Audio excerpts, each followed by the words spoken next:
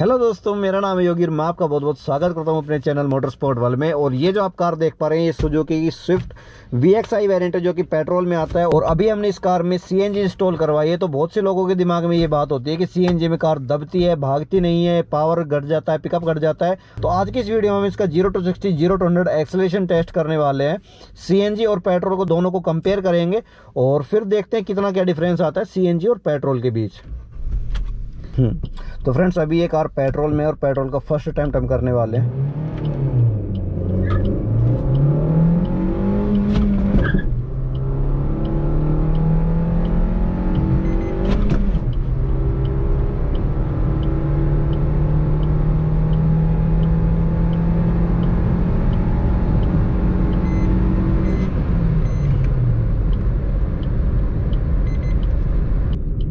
तो friends zero to sixty zero to hundred और zero to one twenty का time आपको शो हो रहा होगा।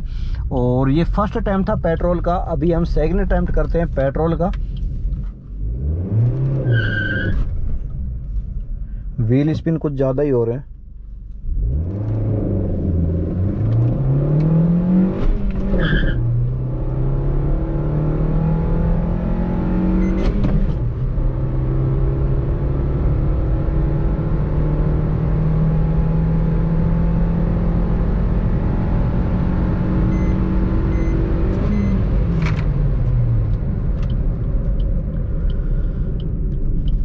तो यहाँ पेट्रोल के दो अटैम्प्ट हो गए हैं और दोनों ही अटैम्प्ट का जो टाइम है वो आपको डिस्प्ले हो रहा होगा।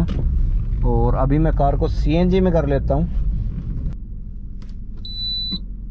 तो अभी जो हमारी कार है, ये सीएनजी में हो चुकी है और अभी हम सीएनजी का अटैम्प्ट करने वाले हैं। हम्म।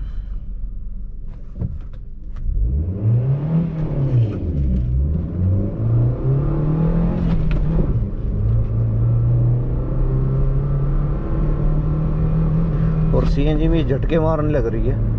पता नहीं सीएनजी कम है या क्या चक्कर है। आप देख भी पा रहे होंगे काफ़ी सारे झटके मार रही है ये। और 100 पहुँचने में इसने काफ़ी ज़्यादा टाइम ले लिया। 120 शायद पता नहीं ये जा भी पाएगी या नहीं। आ, नहीं 120 नहीं जा पाएगी। तो नॉर्मल चलाने पे इतना सीएनजी में कोई ज़्यादा फील होता नहीं है। आ, बाकी जब हम हार्ड एक्सलेट कर रहे हैं तो काफ़ी ज़्यादा डिफरेंस पता लग रहा है।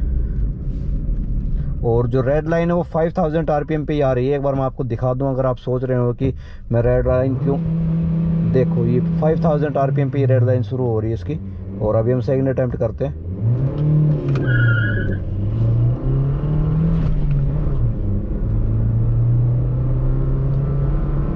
और कार झटके भी मारने लग रही है। मैंने पहली बार देखा है किसी कार में।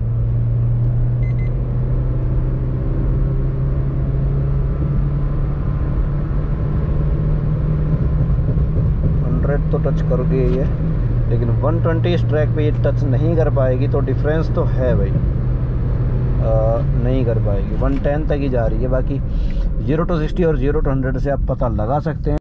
तो यहाँ हमने दो फ्यूल को आपस में कंपेयर किया है एक्सलेशन के बेसिस पे और दोनों ही फ्यूल के साथ जो टाइमिंग आई है वो आपको यहाँ डिस्प्ले हो रही है। और दोनों ही फ्यूल में कार कैसा रिस्पॉन्स करती है, कैसा परफॉर्म करती है, वो आपने वीडियो में देख लिया होगा।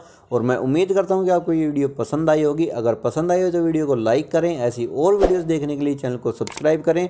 और आपको किस तरह की वीडियोज़ देखनी पसंद है वो आप नीचे कमेंट करके बता सकते हैं। और अगर आपको मुझसे कुछ पूछना है तो नीचे डिस्क्रिप्शन में मैंने इंस्टाग्राम और फेसबुक दोनों के लिंक्स दे रखे हैं। आप वहाँ जाकर मुझसे कनेक्ट हो सकते हैं। और मिलते जल्दी आपसे एक नई वीडियो में। तब तक के लिए do good riding be safe